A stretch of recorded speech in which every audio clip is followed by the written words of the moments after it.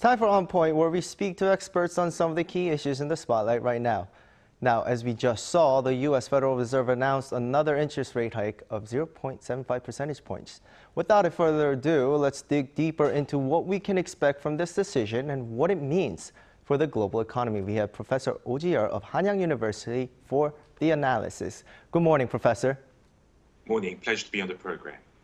First, the World Bank has warned of a global recession if central banks continue to raise interest rates.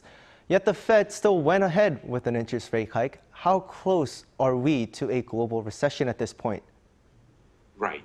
Um, so your question actually has been the subject of intense debate in recent months among the economists. So on the one group, like Olivier Blanchard, for example, said a significant increase in unemployment and the slowdown of growth would be unavoidable. Um, while others like Jan Hatzius at Goldman were still hopeful of a soft landing. Um, now the recent trends are pointing towards the former group's views being closer in line with the reality, unfortunately. Um, the August latest inflation numbers were substantially higher than the market consensus estimate, which was 8.3% versus 8%. Um, and inflation just isn't showing any signs of coming down anytime soon. And that's the reason why Jerome Powell addressed in after the FOMC meeting yesterday that um, meeting the 2% inflation goal is probably the most important goal that the FOMC can do at the moment, and that they will bring down the interest rates by whatever means necessary, suggesting that some pains along the process may be unavoidable. Right, and the exchange rate between Korean won and the US dollar seems to be something the government is trying to get some control over at the moment. But if South Korea continues to follow in the footsteps of the feds, doesn't that put South Korea at a risk of recession as well? Absolutely.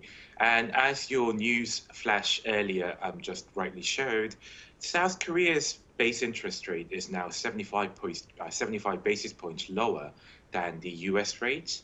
And with US expected to increase the rate by another 1.25% by the end of the year, it doesn't leave our Bank of Korea much room for maneuver.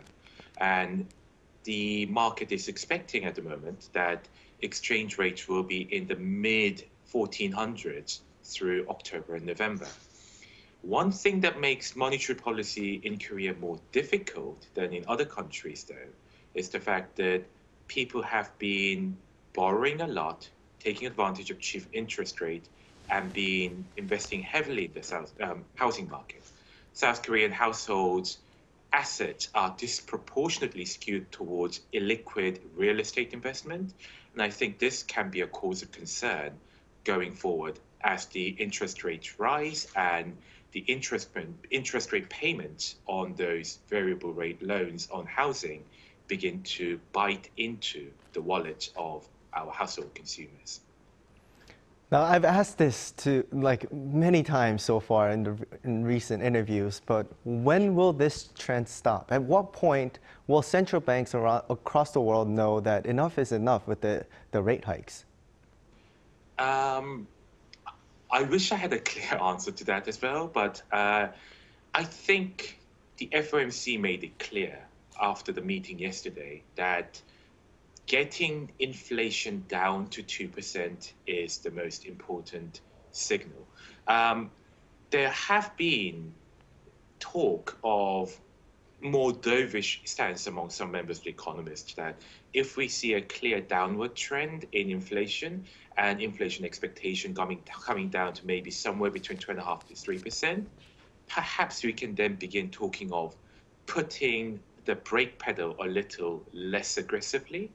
But what our experience have shown over the say past six to nine months is that it has been a very volatile and unpredictable movement. After the July numbers came out, the markets were hopeful that the consensus was, you know, the, the rate itself was much lower than the consensus and that inflation had peaked. And the August number that we saw last week was a complete reverse of that. It was about as 0.3% higher than the consensus. So we are not really clear as to how quickly and where the inflation trajectory is.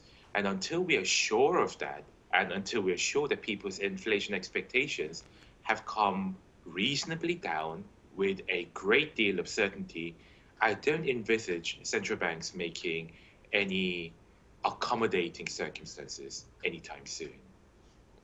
Well, yes, uh, this is such a complicated topic for everyone, but I think you've done a great job for me and the viewers on putting it in a simpler form. Thank you so much, Professor, again, and uh, I hope you have a great day. Thank you very much. Thank you.